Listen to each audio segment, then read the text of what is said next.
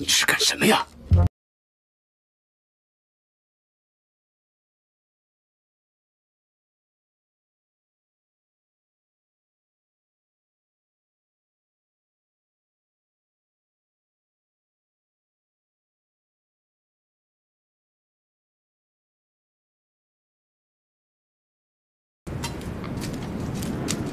那个罗克生，他也太欺负人了。他不是也没想出咋做长线吗？哎，景德，俺就佩服你，总能想出高明的办法。嗨，罗队长啊，他提的意见对，一针见血。那他也是欺负人。俺看呢，他就是嫉妒你，比他聪明，比他有本事。他说的对。哎，俺帮你管。哎呀，俺帮你。哎呀，不用了，我自己来吧。啊，咋了？看不起俺这个残废啊？哎，嗨，哎，胡子啊，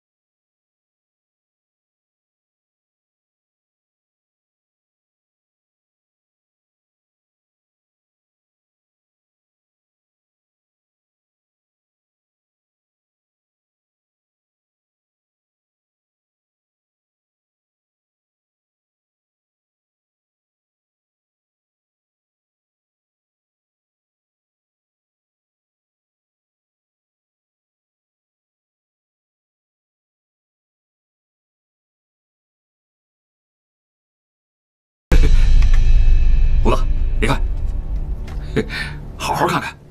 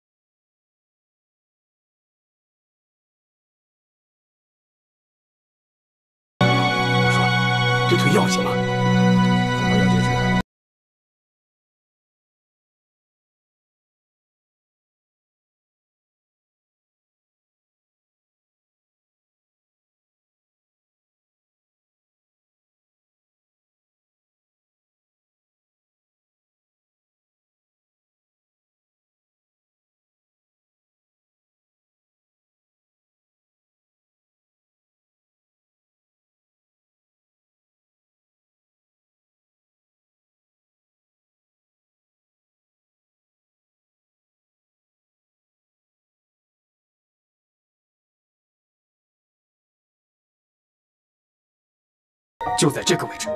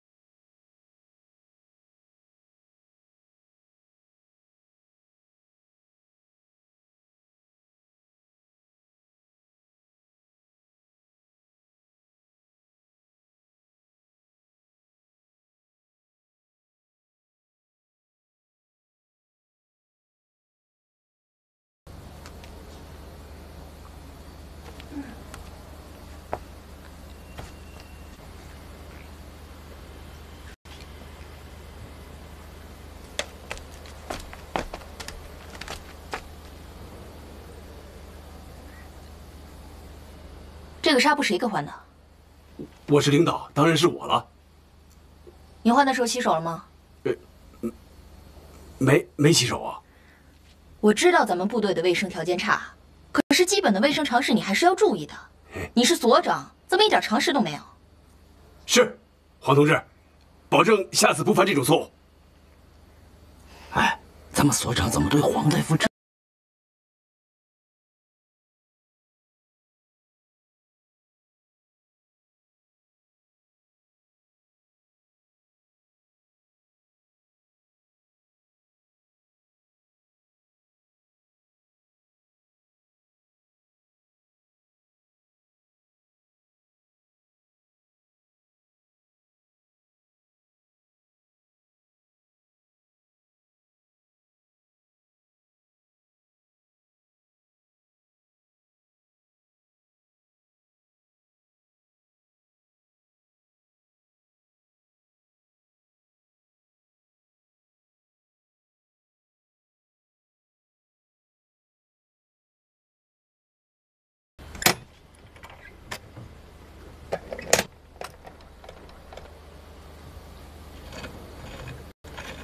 哎呀，敬德，哎呀，你来了，吃好了啊？啊，差不多了，出来动动。哎，对，晒晒太阳。哎，你看看，这摇的对不对？哎，来来来，我来试试。他们在这儿呢。应德，哟，队长，所长。哎，枪怎么样了？什么枪啊枪啊的？工作上的事儿，你就别想了。先给我好好休息，好好养伤。哎呀，枪到底怎么样了？就是啊，膛线没问题，就是射击的距离和精准度还不够，可能是膛线的弧线还不够准确。那就调整呗。有没有好的标准呢？咱按标准做啊。我这儿倒是有几种，可是都不理想，要想办法弄得更好的。要想找到好的膛线数据的话，得有支新枪，最好是没有开过的新枪。可是咱们这儿这全都是旧枪啊。新枪，哎呀，是啊。说起来啊，俺在咱们这儿修了这么多年的枪了，还真没摸过一次新枪。哎呀，哼。实际上啊，新枪也不是不能。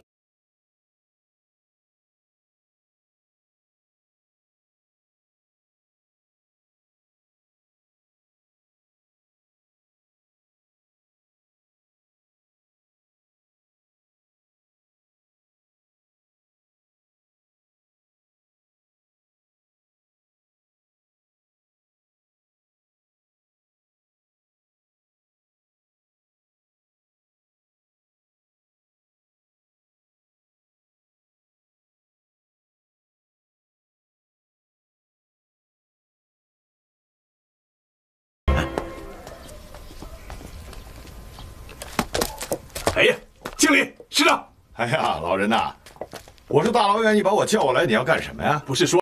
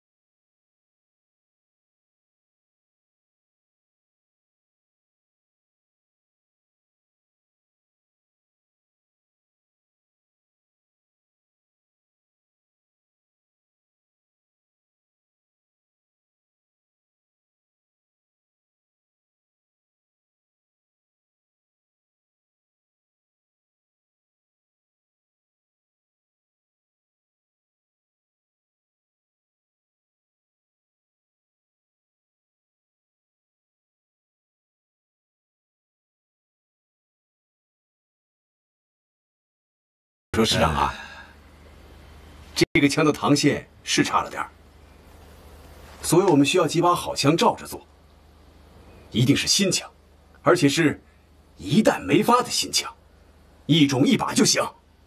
嗯行，为了造枪，你就是要我脑袋，我罗长浩也没二话啊。不过我也有一个小小的要求，等你要是研究成了，你必须得先给我出二百把好枪。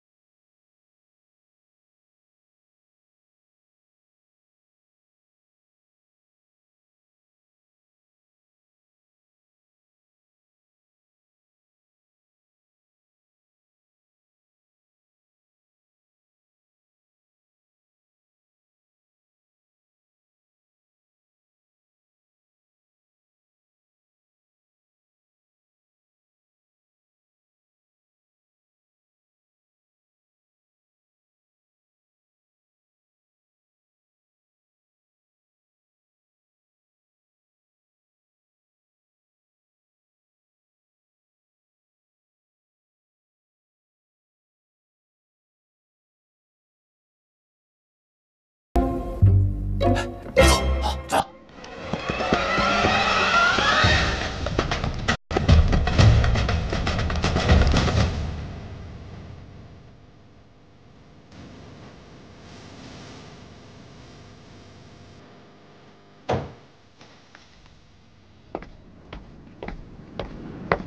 哎哎这这。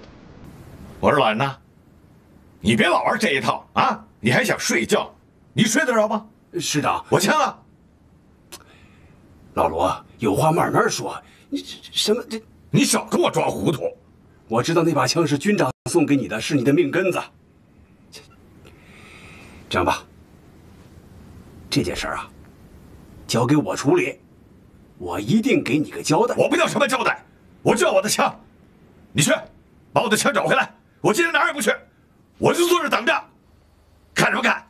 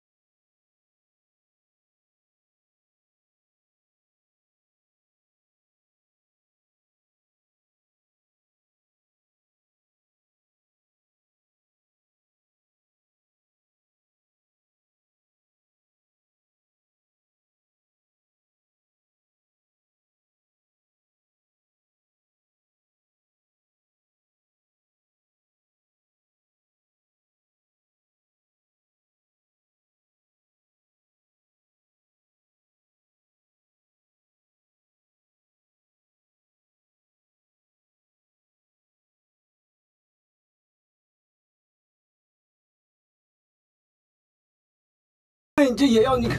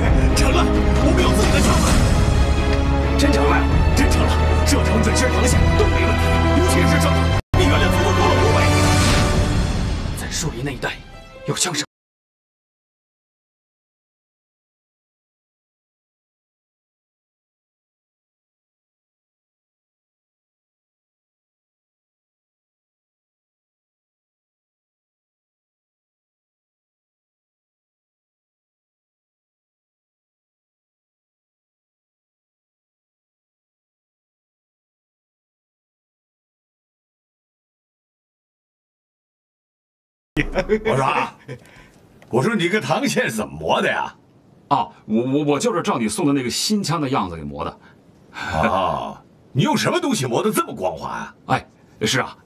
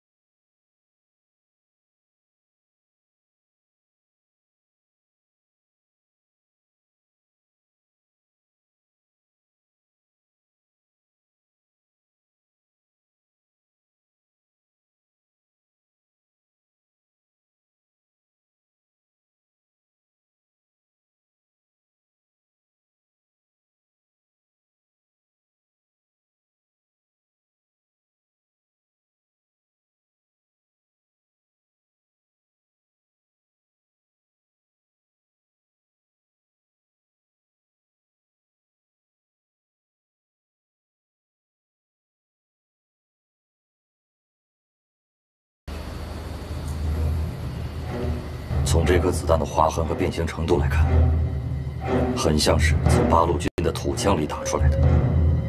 但是很奇怪，从它所受的冲击力来看，又很像是从正规的步枪里打出来的。你是说，八路军有了新型步枪？他们已经拥有制造步兵用枪的实力？这点我不敢肯定，但是这个可能性不能排除。池田君，以你的经验，这颗子弹的射程有多远？八百米。八百米。池田君，以发现这颗子弹的地方为中心，半径八百米，地毯式搜索。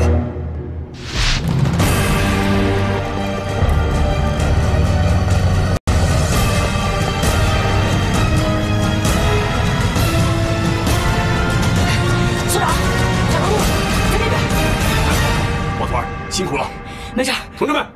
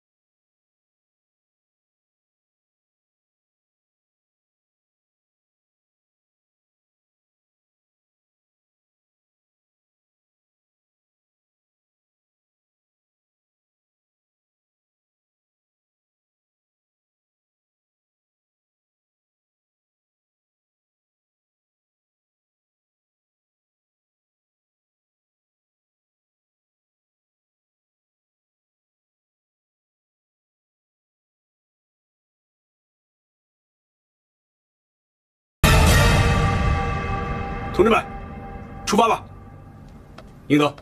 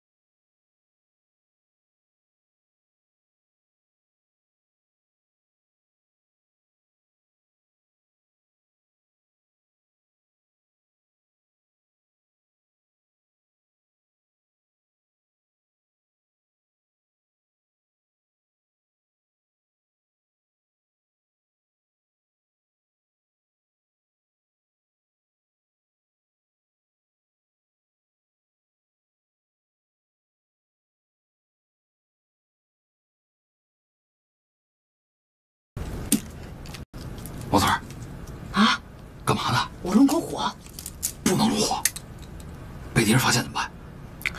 太冷了。快快快快快快过来！来来来，坐这儿。啊，忍忍，忍忍就过去了。啊！哎呀，真没想到，鬼子关卡都这么晚了还不放松，看来咱们是过不去这一关了，就成死关了，咋办呢？总不能一直在这耗着吧？我倒是有个办法，不过得找个人来帮忙。找谁帮忙？刘启德。这个人跟日本人关系不错，通过他。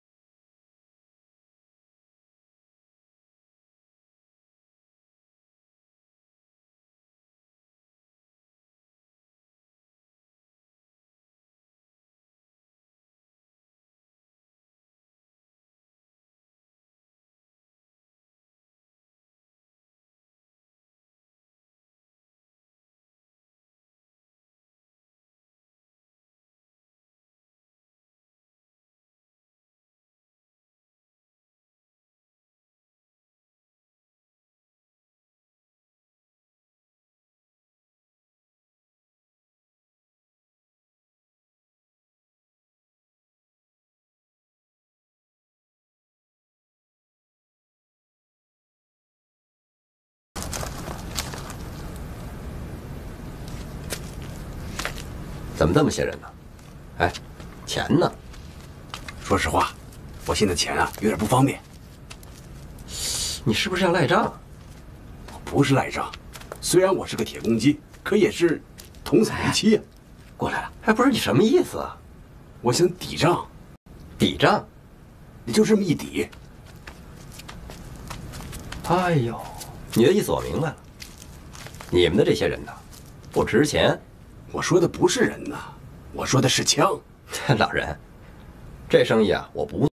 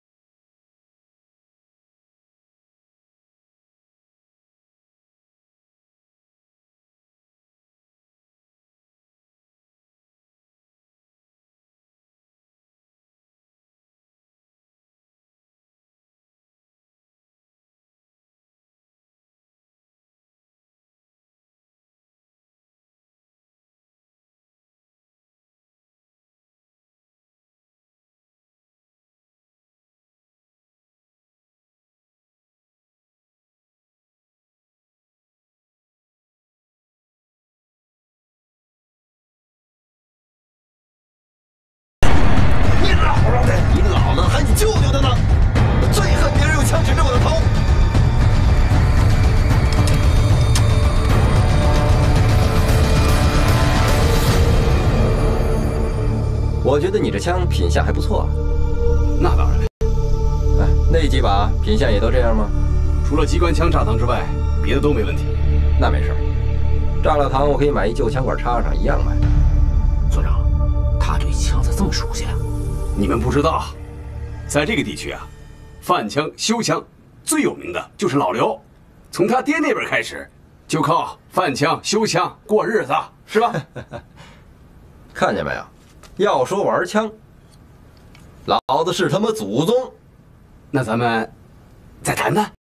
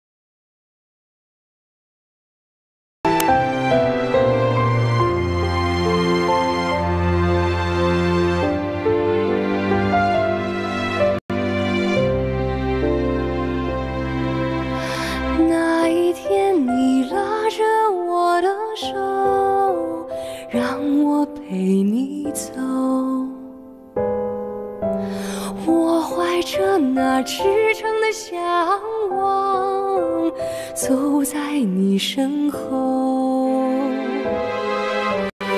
跟你涉过冰冷的河流，患难同经受。跟你走过坎坷的小路，从春走到秋，